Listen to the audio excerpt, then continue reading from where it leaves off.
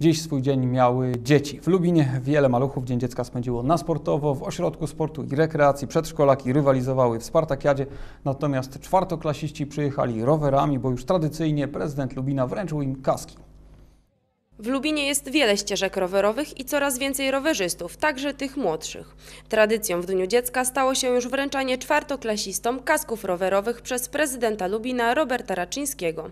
Jak sam mówi, oprócz dobrej zabawy najważniejsze jest bezpieczeństwo. Jest to szósta akcja. Łącznie wy, wy, wydaliśmy dzieciom w Lubinie ponad 5 tysięcy kasków.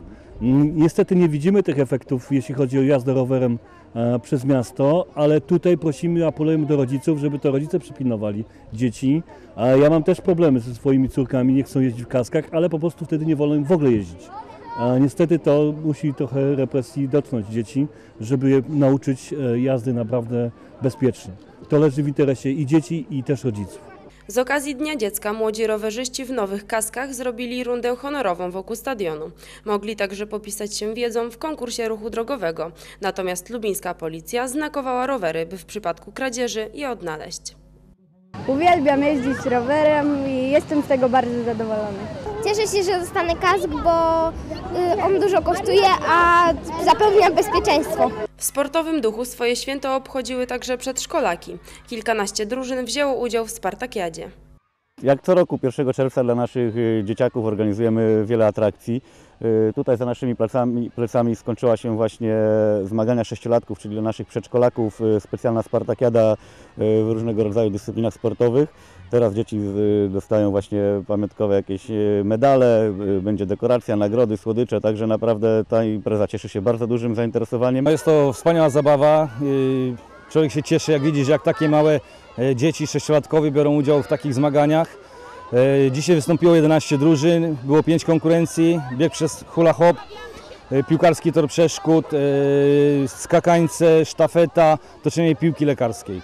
Każdy miał ulubioną dyscyplinę, ale wszystkim maluchom najbardziej podobały się nagrody. To jest takie, takie super, że dzisiaj mam taki fajny nasz dzień. I możemy się wyszalać.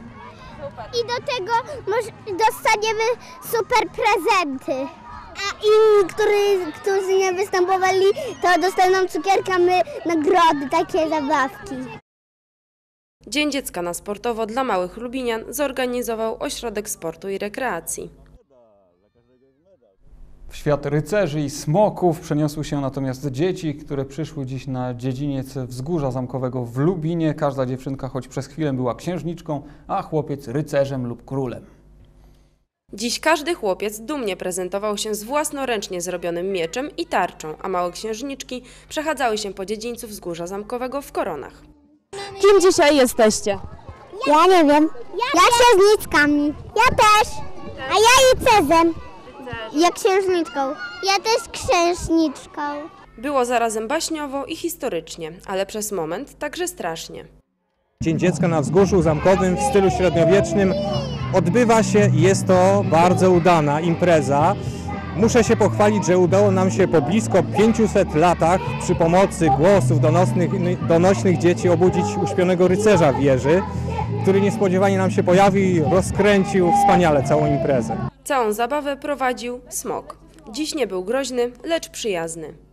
Niektóre na początku się bały, ale starałam się bardzo oswajać dzieci. Mam tutaj specjalną sakiewkę. Sakiewka była pełna cukierków i myślę, że wszystkie dzieci już smoków nie będą się bać. Podczas średniowiecznego Dnia Dziecka można było także zobaczyć, jak kiedyś wytwarzano monety, a najmłodsi mogli pośpiewać i malować. Organizatorem średniowiecznej zabawy był Ośrodek Kultury Wzgórze Zamkowe.